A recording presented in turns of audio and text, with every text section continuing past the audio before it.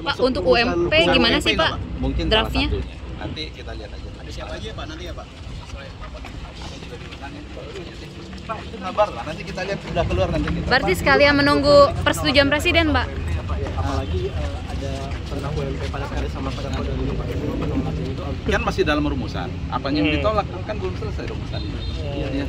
Jadi rumusan ini akan dibawa disetujui ditunggu persetujuan presiden atau Ya gimana? Pak? pasti dong. Saya harus minta arahan dulu. Ya. diumumkan kapan? Diumumkannya nggak bisa dijanjiin juga ya. Tergantung arahan Tanggal 21 beliau. kemarin kan sempat Ya pas kan kan karena tahun ini kan eh, kondisi spesial karena ada putusan MK. Ya. Cukup dulu ya. Oke, Pak.